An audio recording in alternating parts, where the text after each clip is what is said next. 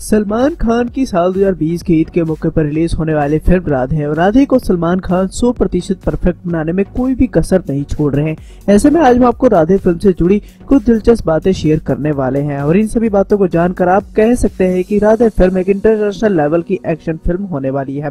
जैसे कि आप सभी जानते हैं कि राधे फ़िल्म में सलमान खान के अपोजिट दिशा पाटनी, जैकी श्रॉफ और रणदीप हुड्डा जैसे बड़े कलाकार हमें देखने को मिलेंगे। फ़िलहाल सभी कलाकारों का क्या किरदार होने वाला है फ़िल्म में, इस बात का खुलासा नहीं हो पाया। लेकिन जानकारी के मुताबिक बताना चाहेंगे, राधे फ़िल्म में रणदीप हुड्डा ऐसे विलन के तौर पर सलमान खान के सामने डटकर खड़े रहने वाले हैं। इसी के साथ ही आपको इस बात की भी जानकारी देना चाहेंगे। राधे फ़िल्म साल 2016 में आई कोरियन फ़िल्म आउटलोस का हिंदी रीमेक होने वाली है, जिसमें सलमान खान के काफ़ी बेहतरीन एक्शन सीन देखने को मिलेंगे। लेकिन एक्शन सीन को लेकर आज हम आपको इस वीडियो में कुछ दिलचस्प बातें शेयर करने वाले हैं। जैसे कि आप सभी जानते हैं कि इस फ़िल्म का निर्देशन करने वाले हैं प्रभुदेवा, और प्रभुदेवा और सलमान खान की जोड़ी वांटेड में हमने देखी थी। साथ ही दबंग थ्री का भी सफल निर्देशन प्रभुदेवा कर चुके हैं। ऐसे में एक्सपेक्टेशन सलमान खान की इस फ़िल्म से लोगों की काफ़ी हद तक बढ़ी हुई है। और जानकारी के मुताबिक बताना चाहेंगे। राधे, फ़िल्म में स्टंट को परफॉर्म करने के लिए सलमान खान भी काफ़ी ज़्यादा मेहनत कर रहे हैं। इसी के साथ ही कोरियन स्टंट टीम को भी हायर किया गया है, सलमान खान की फ़िल्म राधे के लिए।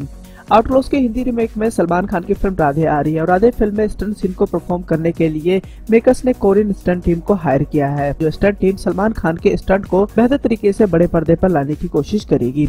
इसी के साथ ही तीन चार स्टंट सीन सलमान खान के होने वाले हैं, जो फ़िल्म में काफ़ी ज़्यादा लाइमलाइट में रहेंगी, जिसमें हैंड टू हैंड फाइट भी शामिल होने वाली है। साथ ही फ़िल्म के विलेन रणदीप हुड्डा के साथ सलमान खान का शर्टलेस फाइट भी होने वाला है, जो कि दर्शकों को बेहद पसंद आएगा।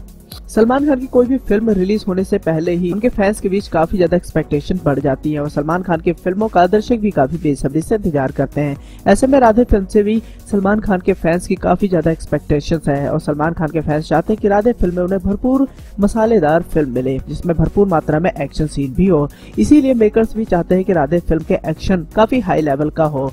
और इस बात में कोई शक नहीं है कि आउटलॉस के हिंदी रिमेक में सलमान खान की फ़िल्म राधे जब साल 2020 की ईद के मौके पर रिलीज़ होगी तो ज़ाहिर सी बात है, लोग भी कहेंगे कि भाईजान की यह फ़िल्म हॉलीवुड के लेवल की एक्शन से भरपूर है। तो दोस्तों, ऐसे में अगर आप भी सलमान खान के फैंस है और इस फ़िल्म का काफ़ी बेसब्री इंतज़ार कर रहे हैं तो अपनी एक्साइटमेंट कमेंट सेक्शन के माध्यम से हमें लिख भेजें। हाउसफुल फोर के ग्रैंड सक्सेस के बाद अक्षय कुमार का अगला प्रोजेक्ट होने वाला गुड न्यूज़ और इस समय खिलाड़ी अक्षय कुमार गुड न्यूज़ के प्रमोशन में व्यस्त हैं। बीते दिनों अक्षय ने अपनी फ़िल्म बेल बॉटम का फ़र्स्ट लुक रिलीज़ किया था, लेकिन अब उनकी ये फ़िल्म मुश्किल में फंसती नज़र आ रही है। दरअसल आपकी जानकारी के लिए बताना चाहेंगे, अक्षय की फ़िल्म बेल बॉटम का फ़र्स्ट लुक सामने आते ही फ़िल्म विवादों से घिर गई थी। इसके पीछे वजह थी, इस साल के शुरुआत में इसी नाम से एक कन्नड़ फ़िल्म भी रिलीज़ हुई थी। दर्शकों को लग रहा था कि अक्षय की फ़िल्म इसी कन्नड़ फ़िल्म की रीमेक है। हालाँकि अक्षय ने इस बात से इनकार किया था। इस फ़िल्म के रीमेक राइट्स कन्नड़ डायरेक्टर और स्टंट कोरियोग्राफर रवि वर्मा के पास है। रवि इन्हीं राइट्स को लेकर अक्षय की फ़िल्म के अनाउंसमेंट से खपा है। वह इस मामले में लीगल एक्शन लेने के बारे में भी सोच रहे हैं। और अगर ऐसा होता है तो अक्षय कुमार की इस फ़िल्म पर बड़ी मुसीबत आ सकती है। इसी के साथ ही ई टाइम से बातचीत करते हुए भी हाल ही में रवि वर्मा ने कहा कि हमने किसी को भी अभी तक कोई लीगल नोटिस नहीं भेजा है, लेकिन कन्नड़ और हिंदी वेल बॉटम के बीच कोई समानता नहीं होनी चाहिए। वेल बॉटम के राइट्स पाने के बाद मैंने मुंबई में कुछ प्रोडक्शन हाउस को इसी फ़िल्म के रीमेक राइट्स दिए थे। निखिल अडवाणी भी उन्हीं में से एक। मुझे लगता है कि उन्होंने कन्नड़ फ़िल्म बेल बॉटम से ही कहानी और स्टाइल कॉपी किया है। रवि ने आगे बातचीत करते हुए, सारे मामले का ज़िक्र करते हुए बताया कि फ़िल्म का टाइटल और अक्षय कुमार का character Kannada film bell bottom से हूबहू मिलता है। मैंने इस बारे में हिंदी फ़िल्म की टीम को भी जानकारी दी है और उन्होंने मुझे बताया कि अक्षय कुमार इस बारे में मुझसे बात करेंगे, लेकिन अभी तक उनसे कोई बातचीत नहीं हो पाई है।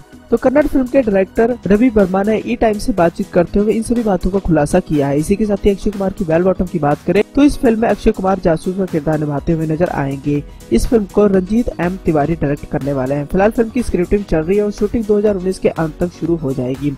यह फ़िल्म साल 2021 में रिलीज़ होने वाली है। लेकिन इस फ़िल्म के अनाउंसमेंट के बाद से ये अब इस फ़िल्म पर विवाद बढ़ते ही जा रहा है।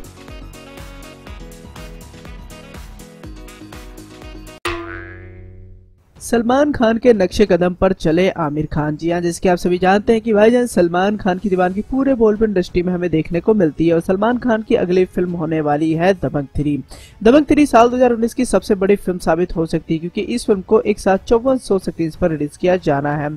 साथ ही इस फ़िल्म में साउथ के जाने माने सुपरस्टार किच्चा सुदीप भी अपनी अहम भूमिका निभाते हुए नज़र आ सकते हैं।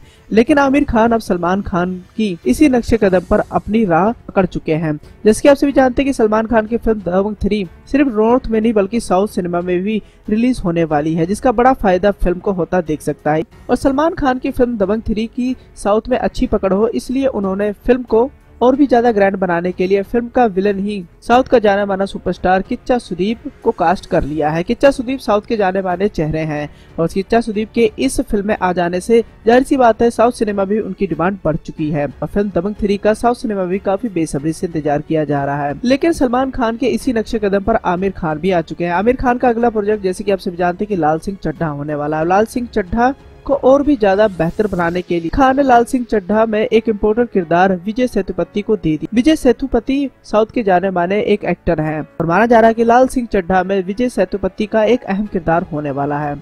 बॉलीवुड का हर एक बड़ा कलाकार चाहता है कि उसकी फ़िल्मों को सिर्फ़ नॉर्थ सिनेमा नहीं, बल्कि पूरे साउथ इंडस्ट्री में भी एक साथ देखा जाए। और यही बड़ी वजह है कि एक लंबे समय से बॉलीवुड साउथ सिनेमा का रीमेक करता रहा है और उनकी हिंदी में बनी फ़िल्मों की दीवानगी साउथ सिनेमा भी देखने जाए। इसीलिए अब बॉलीवुड के तमाम बड़े कलाकार साउथ सिनेमा के बड़े बड़े चेहरों को भी अपनी फ़िल्मों में जगह दे रहे हैं। और इसी नक्शे कदम पर अब आमिर खान भी आ चुके हैं। पहले सलमान खान, फ़िल्म दबंग थ्री में साउथ के जाने माने सुपरस्टार किच्चा सुदीप को कास्ट किया और इसी राह पर आते हुए आमिर खान अब विजय सेतुपति को भी फ़िल्म लाल सिंह चड्ढा में एक अहम रोल दे दिया है।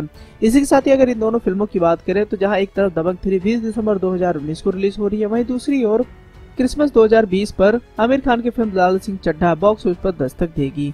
वैसे इन दोनों फ़िल्मों को लेकर दर्शकों की डिमांड काफ़ी ज़्यादा बढ़ी हुई है। इन दोनों फ़िल्मों का दर्शक भी काफ़ी बेसब्री से इंतज़ार कर रहे हैं।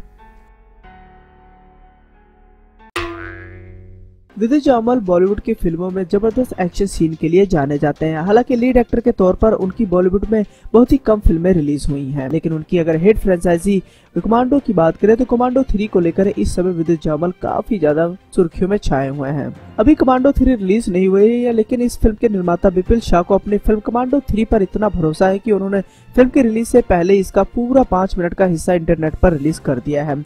कुल दो घंटे तेरह मिनट की फ़िल्म कमांडो थ्री का इंटरनेट पर बुधवार को रिलीज़ किया गया हिस्सा फ़िल्म विद्युत जामल के पहली बार पर्दे पर आने का सीक्वेंस है।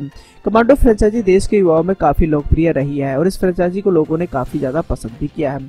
इसकी पहली दोनों फ़िल्मों की कामयाबी के बाद निर्माता विपुल शाह इसकी तीसरी कड़ी लेकर आ रहे हैं। और इस बारे में कहानी, देश में कौमी एकता और आपसी भरोसे की कहानी पर कहने वाली है। विपुल अपनी इस फ़िल्म को लेकर इतना आश्वस्त है कि उन्होंने फ़िल्म में हीरो की एंट्री वाला सीन पूरा का पूरा बुधवार को इंटरनेट पर रिलीज़ कर दिया है। इस में स्कूल जाने वाली एक लड़की के पास के अखाड़े के कुछ पहलवान छेड़ते दिखते हैं और इन पहलवानों की उनके अखाड़े में ही ज़बरदस्त धुनाई करते हुए विद्युत जामल नज़र आते हैं। गौरतलब है कि फ़िल्म कमांडो थ्री के ट्रेलर ने भी इंटरनेट पर ज़बरदस्त कामयाबी पाई थी और रिलीज़ होने के कई दिनों तक ये सोशल मीडिया पर ट्रेंड भी करता रहा। इसी के साथ ही आपको इस बात की जानकारी देना चाहिए कमांडो थ्री के निर्देशक हैं आदित्य दत्त और आदित्य दत्त के निर्देशन में बनी फ़िल्म कमांडो थ्री को उनतीस नवंबर दो हज़ार उन्नीस को रिलीज़ किया जाना है। लेकिन ऐसे में विद्युत जामल का ये एक्शन सीन सोशल मीडिया पर काफ़ी ज़्यादा पसंद किया जा रहा है, जिस एक्शन सीन में कमांडो थ्री के रूप में विद्युत जामल भारी मात्रा में एक्शन सीन फिल्माते हुए नज़र आ रहे हैं। ऐसे में दोस्तों, आपकी एक्साइटमेंट फ़िल्म कमांडो थ्री को लेकर और इस एक्शन सीन पर आपको क्या कहना है कमेंट सेक्शन के माध्यम से हमें ज़रूर अपनी राय दें।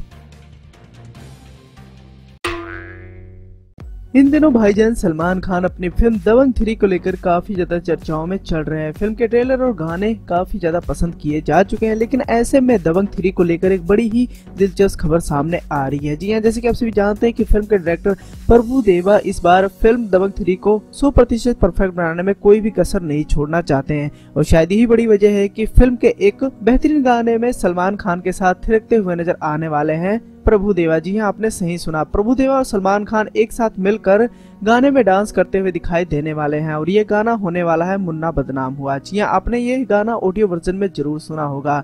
एक लंबे समय से चर्चाओं का विषय बना हुआ है कि सलमान खान की फ़िल्म दबंग थ्री में मुन्ना बदनाम सॉन्ग होने वाला है और अभी तक इस गाने को मेकर्स ने ऑडियो वर्जन में लॉन्च कर दिया है। लेकिन माना जा रहा है की दबंग थ्री के इस गाने में प्रभुदेवा और सलमान खान एक साथ ज़बरदस्त डांस करते हुए दिखाई देने वाले हैं। इस बात में कोई शक नहीं कि प्रभुदेवा और सलमान खान का ये डांस देखने के लिए फैंस भी काफ़ी ज़्यादा एक्साइटेड चल रहे होंगे।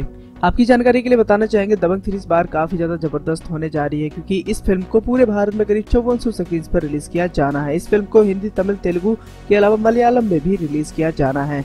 साथ ही इस फ़िल्म से जुड़े कलाकार भी काफ़ी ज़्यादा ज़बरदस्त लग रहे हैं। सलमान के अलावा इस फ़िल्म में सोनाक्षी सिन्हा प्रभु देवा साई मांजरेकर समेत किच्चा सुदीप जैसे बड़े कलाकार हमें फ़िल्म में देखने को मिलेंगे। तो ज़ाहिर सी बात है, ये फ़िल्म जब 20 दिसंबर 2019 को रिलीज़ करेगी तो ज़ाहिर सी बात है, ये फ़िल्म दर्शकों को बहुत ज़्यादा एंटरटेन करने वाली है। और ऐसे में अब खबर आ रही है कि प्रभु देवा और सलमान खान मिलकर मुन्ना बदनाम सॉन्ग पर थिरकते हुए नज़र आने वाले हैं। फ़िलहाल इस गाने का बेसब्री से इंतज़ार सलमान खान के फैंस करते हुए नज़र आ रहे हैं। और ये चाहते हैं कि कब ये फ़िल्म का गाना लोगों के बीच रिलीज़ कर दिया जाए। ऐसे में दोस्तों, आपकी एक्साइटमेंट है इस गाने को सुनने को लेकर? अपनी एक्साइटमेंट लिख भेजे, नीचे दी गई कमेंट सेक्शन के ज़रिए।